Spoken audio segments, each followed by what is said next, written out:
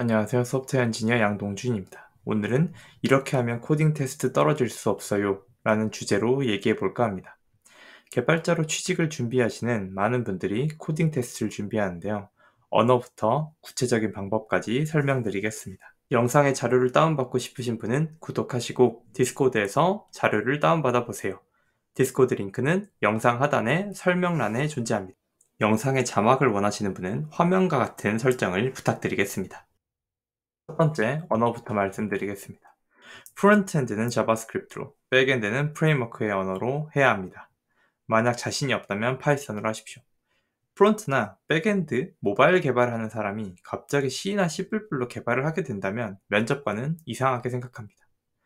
front라면 JavaScript에 자신이 없나? Spring라는 사람은 Java에 자신이 없나? 라고 생각합니다.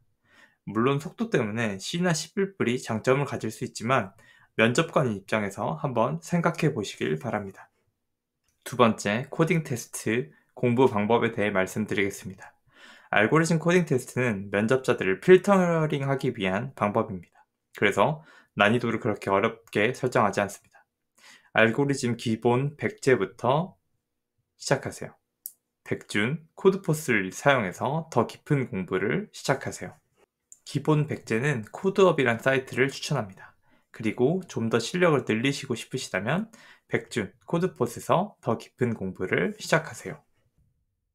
세 번째, 전략적으로 준비하자입니다. 코딩 테스트의 greedy와 탐색 알고리즘, DFS, BFS를 깊게 공부하세요. greedy 알고리즘은 알고리즘 문제가 나왔을 때 가장 쉽게 풀 수 있는 문제입니다. 공짜로 주는 문제이니 공부하셔야겠죠? 삼성전자 코딩 테스트에 가장 많이 나오는 탐색 알고리즘을 그 다음으로 공부하세요. 그렇다면 여러분은 코딩 테스트에서 나오는 문제들 중 절반 정도는 맞출 수 있는 실력을 갖췄습니다. 코딩 테스트를 전부 통과하려면 준비 시간이 오래 걸리니 최대한 커트라인 통과 수준으로 준비를 시작해 봅시다. 빠르게 취업하려면 모든 것을 완벽하게 준비할 시간이 부족합니다. 여러분의 시간에 맞춰서 코딩 테스트 난이도를 맞춰서 준비하세요. 항상 시간이 부족하다는 것을 생각하면서 시험을 준비하셔야 합니다. 마지막으로 알고리즘 테스트는 포트폴리오보다 중요합니다. 면접까지 가기 위한 가장 중요한 단계이니 많은 시간을 투자하셔도 좋을 것 같습니다. 면접까지의 성공률을 높여야 되니까요. 다만 제가 말씀드린 중요한 부분들에 집중하셔서 공부하셔야 할 것 같습니다. 여러분의 취업에 좋은 결과를 기대합니다.